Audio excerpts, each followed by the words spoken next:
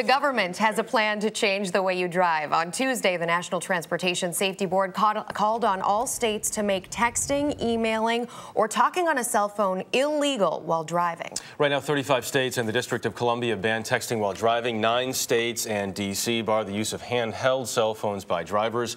And 30 states ban all cell phone use for beginning drivers.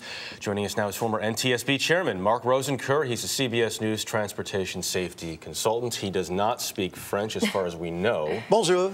But, um, Bravo. But, but, you do know about all things transportation. Um, this is clearly a radical suggestion, Mark. You call it a noble cause. Can it happen? Oh, certainly it can happen. Um, but there may well be technological advances that actually uh, negate the, the need for something like this. Like? Well, for example, the NTSB asked the manufacturers of uh, the consumer electronic product and the cellular telephone industry to create some applications which, in fact, would disable the, uh, the device mm. while the driver is moving. That can happen.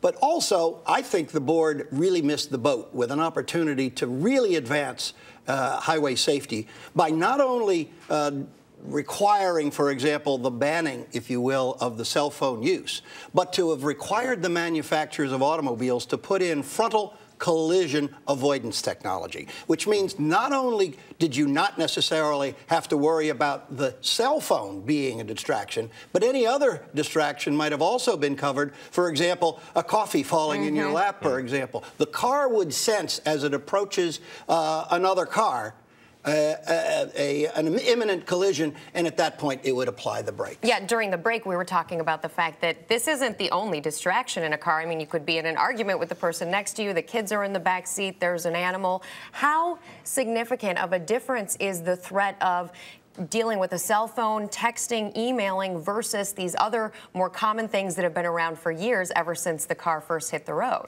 Well, we've always known the distractions existed.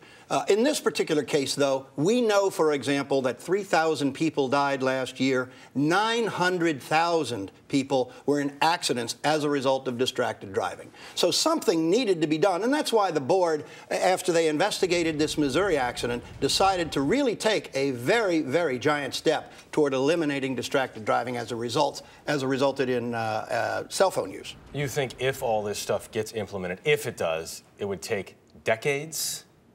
I believe it's going to be a long haul, a very heavy lift. Okay. It has now left the NTSB and has been now put in the laps of the 50 state legislatures.